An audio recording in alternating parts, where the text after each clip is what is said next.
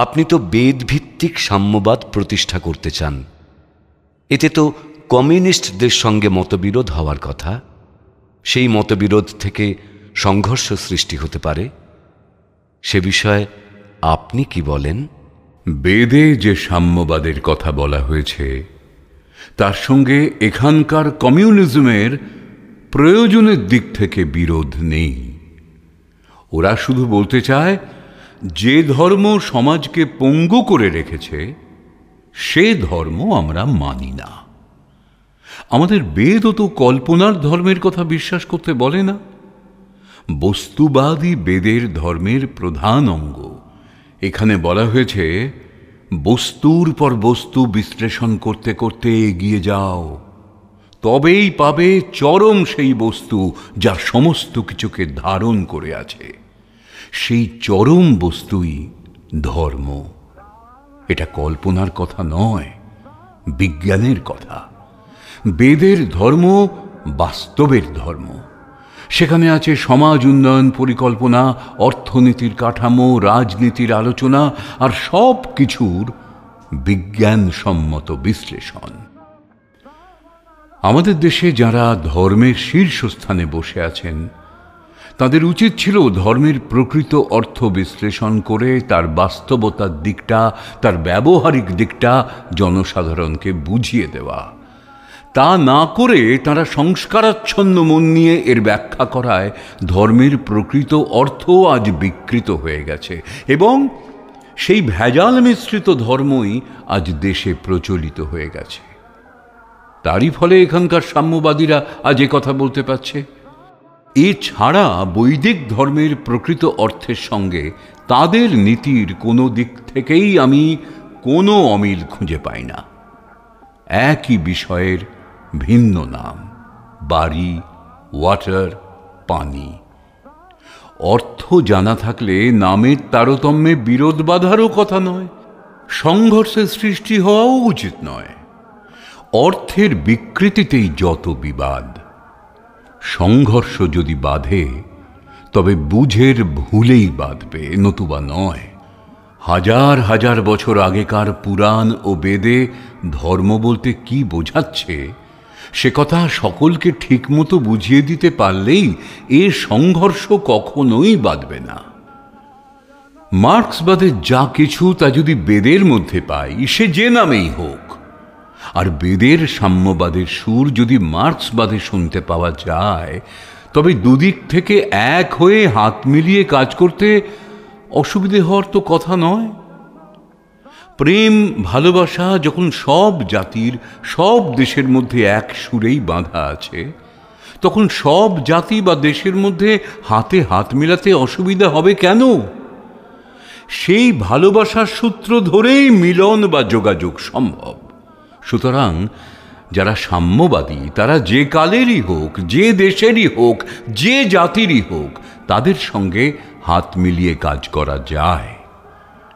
কিন্তু দেশবাসীর মন এখনও সংস্কারাচ্ছন্ন। তাই ভিন্ন জাতির মধ্যে মিলন তারা এখনও আশা করতে পারে না।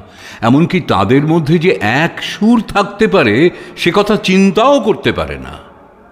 তাই যদি বলি, মার্ক্সবাদকে প্রতিষ্ঠা করতে চাই, তবে আমাদের দেশের সবাই তাকে সমানভাবে গ্রহণ করতে পারে না। আবার রাশিয়া বা চীনকে আমাদের দেশের বেদের সাম্যবাদ প্রতিষ্ঠার কথা যদি বলি, তারা সেটাকে প্রথমে আমলই দিতে চাইবে না, ধর্মের বিষয় বলে হেসে উড়িয়ে দেবে। তাদের দেশে বেদ যেমন একটা কল্পনার বস্তু, আমাদের দেশে তেমনি মার্ক্সবাদ একটা আতঙ্কের বিষয়। অথচ খুঁজলে দেখা যাবে দুয়ের অর্থ এক, বুঝের ভুলে আলাদা হয়ে গেছে। তাই আমাদের দেশে মার্ক্সবাদের প্রতিষ্ঠা করতে হলে বেদের মাধ্যমে তাকে প্রতিষ্ঠা করতে হবে। ওদের দেশে বেদকে প্রতিষ্ঠা করতে হলে মার্ক্সবাদের মধ্যে দিয়ে এগিয়ে যেতে হবে। কার্ল মার্ক্সও সেটাই করেছিলেন। কার্ল মার্ক্স রাশিয়ারও নয়, চীনেরও নয়, ভারতেরও নয়। অথচ তার ভাবধারা এ তিন দেশেই ব্যাপকভাবে প্রচারিত। আমি শুনেছি চার পাঁচশো বছর আগে থেকে ম্যাক্সমুলার পর্যন্ত এবং তারপরেও অনেক জার্মান মনীষী ভারতীয় বেদ আর দর্শন শাস্ত্র তাঁদের দেশে নিয়ে গেছেন। এবং তখন থেকেই জার্মানি ভারতীয় দর্শন ও সংস্কৃতি চর্চার একটি প্রধান কেন্দ্রস্থল। বেদ ভারতেই রচিত। কিন্তু বেদের চর্চা ভারতবর্ষে যেমন, জার্মানিতেও তেমনি হয়েছে এবং হচ্ছেও। কার্ল মার্কস সেই জার্মান দেশেরই। সুতরাং এই শাস্ত্র তাঁর অজানা নয়। অতএব আমি যদি বলি, তিনি বুঝেছিলেন যে ভারতীয় দর্শন এবং সাম্যবাদ অতুলনীয়। এবং এটাও যদি বলি যে তিনি এটাকে সীমাবদ্ধ রাখা উচিত নয় বুঝে, তা প্রচারের জন্য দেশে দেশে যাত্রা করেছিলেন, তাহলে কি খুব ভুল হবে? তিনি এই সাম্যবাদ প্রতিষ্ঠার জন্যে যেভাবে বেরিয়েছিলেন, তার জন্যেই তাকে ঋষি বলা হয়েছে। পৃথিবীতে বিগত পাঁচ হাজার বছরের মধ্যে যারা এসেছেন ইচ্ছে থাকলেও কেউ সাম্যবাদকে এরকমভাবে বাস্তবে রূপায়িত করতে পারেননি। সত্যিকারের সাম্যবাদ যদি কেউ প্রতিষ্ঠা করতে চায়, তবে যার যার সংস্কারকে হাতে নিয়েই প্রথমে কাজে নামতে হবে। সফলতা এলে সংস্কারকে সরিয়ে ফেলতে অসুবিধে হবে না। কিন্তু প্রথমেই সংস্কারে আঘাত দিলে কেউই আর এগিয়ে আসবে না। তাহলে কাজ আরম্ভ করতেই বহু বছর লেগে যাবে। সফলতা তো দূরের কথা। পেট ভরা নিয়ে কথা। চামচ দিয়েই খাই, কাঠি দিয়েই খাই, আর হাত দিয়েই খাই। উদ্দেশ্য এক। আমি চাই দেশে সাম্যবাদ প্রতিষ্ঠিত হোক। কিন্তু সাম্যবাদের নাম ভাঙিয়ে অবিচার, অত্যাচার কারও নিন্দা বা অপপ্রচার কিংবা দেশে অশান্তি আর উচ্ছৃঙ্খলতা সৃষ্টি করা অন্যায়। সাম্যবাদের নামে যা খুশি করলে সেটা শোভনীয় হবে না। এখানকার কমিউনিস্টরা সাম্যবাদের ডিঙিতে এসেছে ঠিকই, কিন্তু ভারতের নারীর গতি বুঝে তা চালাতে পারছে না বা চাইছে না বলেই তাতে সকলে উঠতে দ্বিধা বোধ করছে। ভারতবাসী ধর্মপ্রাণ। সেখানে এসেই যদি স্লোগান দেওয়া হয়, ধর্ম মানি না, ভগবান বিশ্বাস করি না, তবে প্রথম থেকেই তারা দরজা বন্ধ করে দেবে। তাই বলছি, নারীর গতি বুঝে কাজ করো। নারীতে হাত রাখো, বোঝো তার গতির স্পন্দন, তারপর সেই অনুযায়ী ব্যবস্থা করো। তবে তো উদ্দেশ্য সফল হবে। কথা নেই, বার্তা নেই, অসুখ করেছে বলেই ফস করে পেনিসিলিন ইঞ্জেকশন দিয়ে দিলেও হবে না। রুগীর কনস্টিটিউশনে পেনিসিলিন সহ্য হবে কিনা, সেটা তো আগে জেনে নিতে হবে। তা না হলে রিয়াকশন হবেই। একটা ব্যক্তি দেহের রিয়াকশন আর একটা সমাজ দেহের রিয়াকশন কথা একই। যেখানে ভক্তি ভালোবাসা দিয়ে কাজ উদ্ধার করা যায়, সেখানে সেভাবেই কাজ করতে হবে। আবার যেখানে লাঠি সোঁটার প্রয়োজন, সেখানে সেগুলো নিয়েই এগিয়ে যেতে হবে। কিন্তু বুঝের জায়গায় লাঠি নিলেই যত গণ্ডগোল। আজকের বাংলা বা ভারতের বিভিন্ন রাজনৈতিক দলগুলি যতই সাম্যবাদের কথা বলুক, আমাদের তো মনে হয় প্রকৃত সাম্যবাদের সুর তাদের কারও মধ্যে নেই। তাদের মুখ্য উদ্দেশ্য গদি দখল করা। ব্যক্তিগত ও দলগত স্বার্থই তাদের লক্ষ্য। দেশ বা দেশবাসী সম্বন্ধে তাদের কোনো মাথা ব্যথা নেই। আপনি কি মনে করেন? উইয়ের পাখা গজায় আগুনে পুড়ে মরার জন্যে।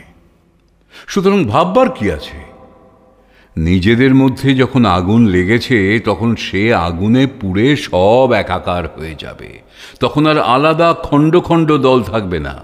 সব দল সাম্যবাদের নীতির ছাঁকনিতে ছেঁকে এক নব সংগঠন গড়ে উঠবে। তাদের নীতি হবে বেদ ভিত্তিক সাম্যবাদ। আজকের দিনে বাঁচতে হলে এই ভারতীয় বেদভিত্তিক সাম্যবাদই একমাত্র পথ। হাজার হাজার বছরের পুরনো সাম্যবাদ আবার আমাদের দেশে ফিরে আসবে বলেই আজ অত শত পার্টি গজিয়ে উঠছে আর তাদের মধ্যে অত শত গোলমালের সৃষ্টি হচ্ছে। পার্টিতে পার্টিতে যখন ভীষণ গোলযোগ আর মতানৈক্য সৃষ্টি হয়, তখন গোলমালের মাত্রা বাড়তে বাড়তে এমন এক পর্যায়ে গিয়ে পৌঁছয়, তখন পতন অবশ্যম্ভাবী এবং সে পতন এমনই অকস্মাৎ যে তার পূর্ব মুহূর্ত পর্যন্ত কিছুই জানতে পারে না। আজ যতই পাটিতে পাটিতে দলাদলি হোক, একদিন উত্তরবঙ্গের বন্যার মতো সাম্যবাদের বান এসে পাহাড় পর্বত ভেঙে সব ভাসিয়ে নিয়ে যাবে। সাম্যবাদের ডিঙিতে যারা আছে, তারাই শুধু টিকে যেতে পারে। আমাদের ধমনীতে বহু হাজার বছর ধরে সেই বেদের যুগ থেকে সাম্যবাদের রক্তধারা প্রবাহিত। আমরা এতদিন সেই রক্তের স্বাদ ভুলেছিলাম। ভেড়ার দলে মিশে সিংহ শাবক যেমন ভুলে থাকে, তার রক্তের প্রকৃতি আর ক্ষুধার তাড়নায় ঘাস পাতায় জীবতে থাকে।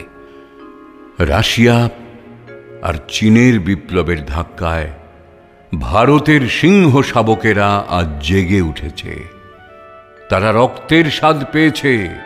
সাম্যবাদের স্বাদ বুঝেছে। আর বুঝেছে, এই সাম্যবাদের রক্তধারা তাদের সকলের শিরায়, উপশিরায় হাজার হাজার বছর আগে থেকে বইছে। তাদের সবার রক্ত এক, সবার অধিকার এক। এবার সামলানো দায়। এবার ওরা ঝাঁপিয়ে পড়বে। বৈদিক সাম্যবাদের পুনঃপ্রতিষ্ঠার জন্য শুরু হবে এক বিরাট বিপ্লব। তাতে এসে যোগ দেবে রাশিয়া আর চীন। আমি মার্ক্সবাদ বুঝি না, লেনিনবাদ বুঝি না, মাওবাদও বুঝি না। আমি শুধু বুঝি, যাদের মধ্যে কিছুটা সাম্যবাদের সুর আছে, তারাও আমাদের সাথে আসতে দ্বিধা বোধ করবে না। তাই ব্যক্তিগতভাবে কোনো পার্টি বা দল সম্বন্ধে আলোচনা করতে আমি রাজি নই। শুধু এইটুকু বলতে পারি, আজ হোক, কাল হোক, খণ্ড পার্টি আর থাকবে না। সাম্যবাদের বন্যায় সব ভেসে একাকার হয়ে যাবে। এক দলেই আসবে সবাই। আপনি বলছেন, ভারতে এক দলেই সবাই আসবে। সেটা কোন দল? প্রকৃতি থেকে যে নিয়মে, যে ধারাতে সৃষ্টি হয়ে আসছে, সেই নিয়মে কোনো দুই নেই। আছে শুধু এক। সম সুরে সমমাত্রায় বাঁধা। যাকে খুঁজলে হদিশ পাওয়া যায় না, অথচ প্রতি বস্তুর অস্তিত্বের অনুসন্ধানে সেই অসীমের সাড়া পাওয়া যায়। এই মৃন্ময় পৃথিবীর জীবজগতই হল তার প্রমাণ। এক পৃথিবী, একই চন্দ্র, সূর্য, আকাশ, বাতাসের মধ্যে সমস্ত জীবজগৎ নিয়মের হারমনিতে সুন্দরভাবে এক সুরে বাঁধা। ছোট বড় নির্বিশেষে প্রতি বস্তুই সুসজ্জিত, কেউ বাদ যায়নি। প্রতিটি বস্তুর ওপর প্রকৃতির এই যে সুনজর, সমদৃষ্টি প্রকৃতিজাত জীবের মধ্যে তবে কেন থাকবে না সেই সাম্যবাদের সুর? সেই সাম্যবাদই হবে জীবের একমাত্র অস্ত্র। সেই সাম্যবাদের টানে সব দল এক দল হতে বাধ্য হবে। প্লাবনের টানে সব গর্ত এক হয়ে যায়। সাম্যবাদী সমস্ত ধর্মশাস্ত্রের প্রথম কথা, প্রধান কথা। সকল তীর্থে এক দেব চিন্তায় লক্ষ লক্ষ হাতের জল এক শিলাতেই পড়ছে। মঠে, মন্দিরে, মসজিদে, গির্জায় সবাই একভাবে গিয়ে প্রার্থনা করছে। সমান রাস্তা পেলে গাড়ি সহজ গতিতে চলে। ব্যতিক্রম হলেই দুর্ঘটনা। আজকে জাতির মধ্যে ব্যতিক্রমেই এই দুর্ঘটনা ঘটেছে। তাই এত দলাদলি আর সাম্প্রদায়িকতা। এতগুলো রাজনৈতিক দল না হয়ে সবাই সাম্যবাদে এসে পড়লেই তো সমস্যাই মিটে যায়। আসে না কেন? সাম্যবাদ ছাড়া কেউ আছে? কথা আমি বিশ্বাস করি না। সবাই বেদের সাম্যবাদ চাইবেই। দুচক্ষে যে জিনিসটা দেখতে পাই, সেইটুকু দেখে আমরা শেষ করি না। দেখার পথে অগণিত জিনিস চোখে পড়ে, কর্ণেও তাই, অগণিত শব্দ আসছে। এক সাগরে সবাই স্নান করছি। আমরা যা করছি, সবাইকে নিয়েই কাজ করে যাচ্ছি, তবুও ভুল করছি। খণ্ড খণ্ড যতগুলো দল আছে, একা দাঁড়িয়ে কেউ দল করছে না। সেই দলে একজনের অধিক আছেই। অধিকের মাত্রা যদি আরও অধিক নিয়ে করে, তবেই চুকে যায়। বাড়ার মুখে থেমে গেলেই হোঁচট খেতে হয়। আজ দলগুলো হোঁচট খেয়ে থমকে গেছে।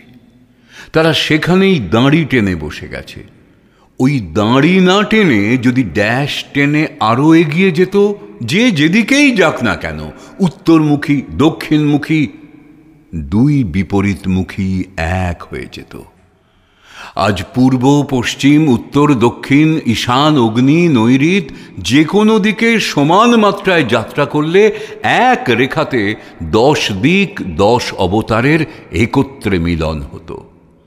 দল থাকাতে ত্রুটি নেই। সবার মুখ একদিকে যাচ্ছে, থেমে গেলেই বিপদ। আজ এখানকার দলগুলো থেমে গেছে, তাই যত গোলমাল হচ্ছে। যাত্রিকরা যাত্রা করেছে, ভিড় অনেক। যখন থেমে যাচ্ছে, পিছনের ধাক্কা খেয়ে খেয়েই এগিয়ে যাচ্ছে। সামনের ভিড়ের চেয়ে পেছনের ভিড় এত সহস্র গুণ বেশি যে পেছনের ভিড়ের ধাক্কায় সামনের ভিড়ে সবাইকে এগিয়ে নিয়ে যাচ্ছে, থেমে যাওয়ার উপায় নেই। আজ দলগুলো যেখানে যেখানে থেমে আছে পেছনের ভিড়ের চাপ ক্রমশ এগিয়ে আসছে, সেই ধাক্কাতে কারও থেমে থাকার উপায় নেই। ওই ধাক্কাতেই সব ভাসিয়ে নিয়ে যাবে। সাম্যবাদ প্রকৃতিগত বৃষ্টির মতো ভাসিয়ে নিয়ে যাবে। ব্যাধির উপদ্রব ততক্ষণ পর্যন্ত থাকবে, যতক্ষণ পর্যন্ত এর উপযুক্ত ব্যবস্থা না হবে। আজ রাজনৈতিক দলগুলোর মধ্যে যে মারামারি, দলাদলি, যতক্ষণ মিলনের সুরে না আসছে, ততক্ষণ এগুলো থাকবেই। মিলিত হওয়ার জন্যই ওগুলো।